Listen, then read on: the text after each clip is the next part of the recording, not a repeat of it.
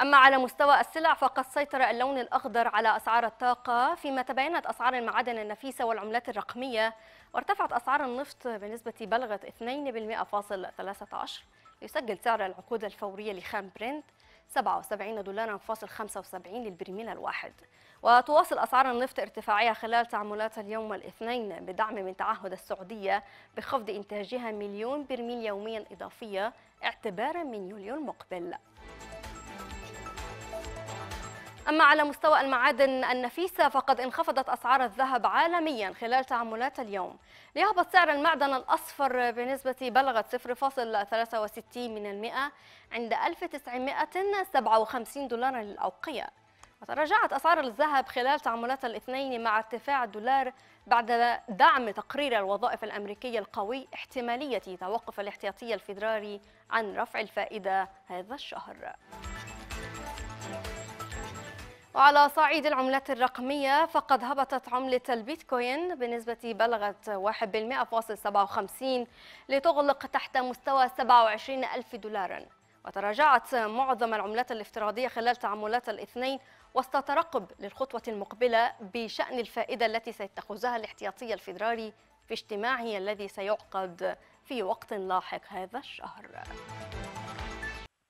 ربما رأينا أستاذة حنان النفط ارتفع أعلى 77 دولارا بعد تعهد السعودية بخفض إنتاجها مليون برميل يوميا ما رؤيتك لأسعار الطاقة الفترة المقبلة في ظل الخفض الطوعي للإنتاج؟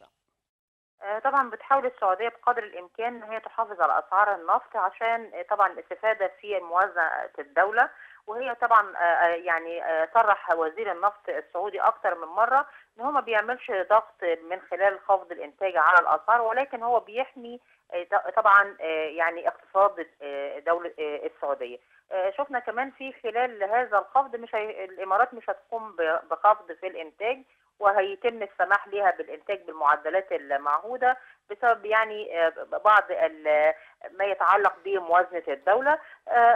يعني ممكن نشوف إن الخفض لأسعار لكميه الإنتاج تؤثر بالإيجاب ولكن لازم نشوف الإجراء اللي هيتم أمامه. لو الولايات المتحدة الأمريكية أفرجت عن جزء من احتياطيها الاستراتيجي فيؤدي مرة أخرى إلى إن ما يرتفعش أسعار النفط كما كان معتقدين في الفترة اللي فاتت لما تم الخفض في شهر مايو.